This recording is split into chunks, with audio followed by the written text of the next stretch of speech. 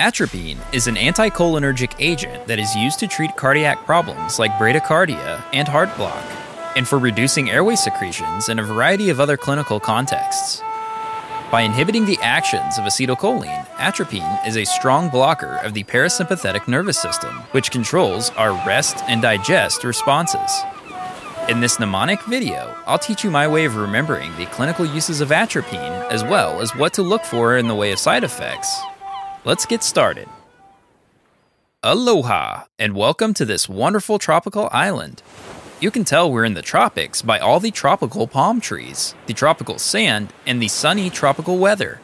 By the way, this tropical setting is our symbol for atropine, because when you see the word atropine, it kind of looks like the tropics, right?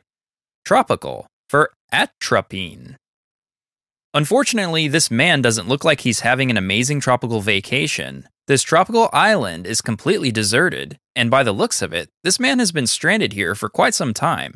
He's sending messages out to sea in these empty cola bottles. Here at Pixorize, we use cola as a symbol for choline or acetylcholine, because choline and cola sound pretty similar, right? In this case, notice that these cola bottles are empty, because you always send out messages to sea in empty bottles, Duh. This empty cola also helps us remember that atropine is an anticholinergic agent, reducing the signaling of acetylcholine. Kind of like the reduced cola in these empty bottles, right? Recall that the signaling of acetylcholine is crucial for activating the parasympathetic nervous response, or the rest and digest response. Therefore, blocking acetylcholine signaling by atropine reduces or blocks the rest and digest response. Now that we know how atropine works, let's talk about its clinical uses. Time passes really slowly when you're stranded on a tropical island. But don't take it from me, just notice how this guy is looking at his watch. Looking at your watch due to time passing slowly is our recurring symbol for bradycardia, or a slow heart rate. Because just like time is ticking slowly for this man stranded on a tropical island, bradycardia describes a heart beating slowly. This is all here to help you remember that atropine is used to treat bradycardia, which makes sense because by blocking acetylcholine, atropine blocks the parasympathetic rest and digest response.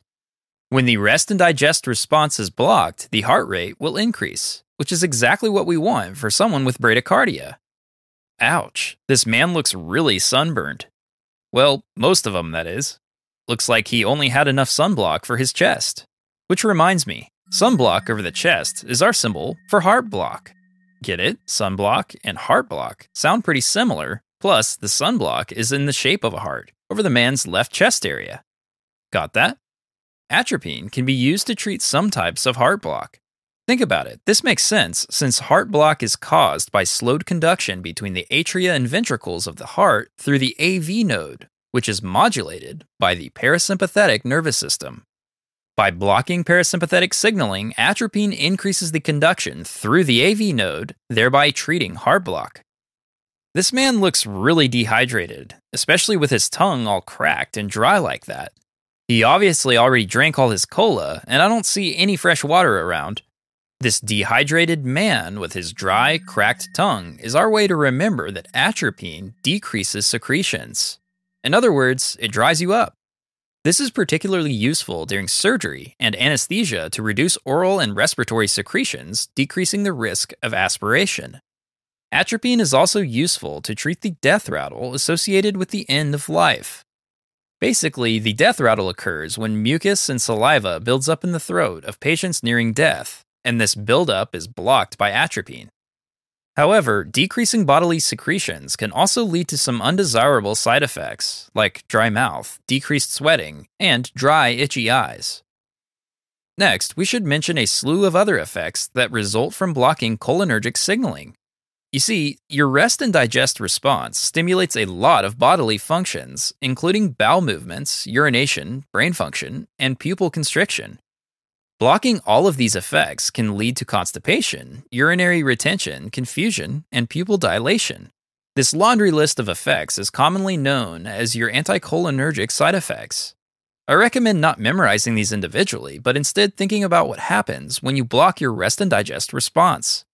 Let physiology be your best mnemonic, right? Next, notice how this man is rubbing his eyes out of disbelief after checking the time.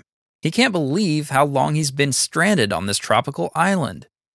We can use this as our symbol for glaucoma, because rubbing your eyes puts pressure on your eyes, and glaucoma occurs due to high intraocular pressure, right? Rubbing eyes for glaucoma. Atropine causes pupil dilation, also called mydriasis, which can increase intraocular pressure to cause glaucoma. Technically, this happens because the muscles responsible for pupil dilation can block the outflow of fluid from the anterior chamber of the eye. This blocked fluid builds up, thereby increasing intraocular pressure. You don't need to know this level of detail for the NCLEX. Just remember that pupil dilation occurs because of the inhibition of the parasympathetic, or rest and digest, response, and any drug that causes pupil dilation can cause angle closure glaucoma. The NCLEX loves to ask questions about anticholinergic medications and glaucoma, so just remember this man rubbing his eyes, and you'll be sure to get those questions right on test day. After all these messages and bottles were sent out to sea, it looks like our deserted guy finally had a stroke of luck. Notice the physician running over to rescue our man from his tropical nightmare?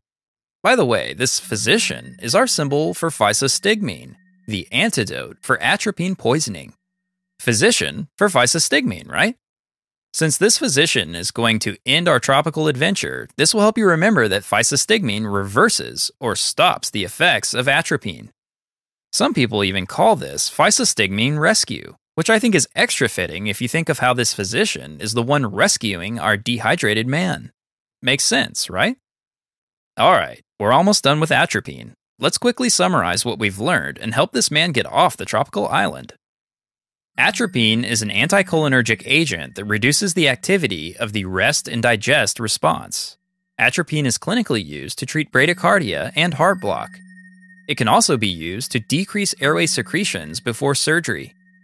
Side effects of atropine include anticholinergic side effects such as urinary retention, constipation, dry mouth, blurred vision, and basically anything that comes from decreased fluid secretions. Atropine is contraindicated in glaucoma. And lastly, know that the effect of atropine can be reversed by the drug physostigmine. That's it for atropine. Let's help this man on his way home. And somebody get him a drink of water. Thanks for joining us in this mnemonic video. And when you see atropine on test day, don't panic. Just come back to this tropical island scene with our dehydrated man, and you'll be all set. Thanks for watching. For more videos like this one, subscribe to our channel and check out our newest lessons. For more resources on this topic, including fact lists and interactive review images, click the image next to the More Here arrow. I'll see you next time.